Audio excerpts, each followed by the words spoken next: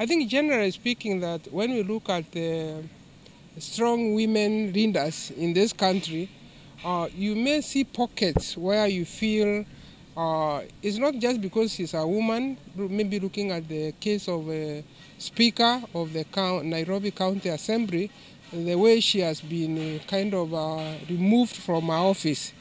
Uh, this, in, in our view, we feel that anybody, maybe a woman or a man, who are to be removed out of their office, a due process must be followed. So a group of uh, uh, people cannot just come in the office and say you should go out because in the public service, which counties also prescribe, there is a due process if you want to remove any leader, may it be a woman or a man, a due process will be followed. It's a bit disturbing when, when you realize in Nairobi County the way Beatrice uh, Elachi, the speaker, was removed, that due process was not followed. The agenda of the day was not to deal with the speaker. They actually, she allowed the meeting to take place being a normal meeting of the county assembly.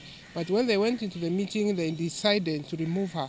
So since the matter is in court, I may not comment around, uh, much about it, but it's very clear anybody is going to be removed from uh, a position in the public service.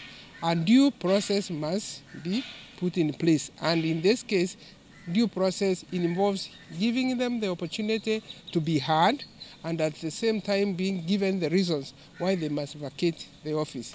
So we strongly feel sometimes women are more, more vulnerable and sometimes um, people can um, look at areas or point at areas where maybe they think strong women uh, need to be removed out of position, not because they have done anything wrong, but because of their leadership.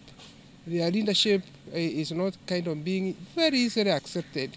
And I'm sure the court will deal with this matter and justice will be seen to be done.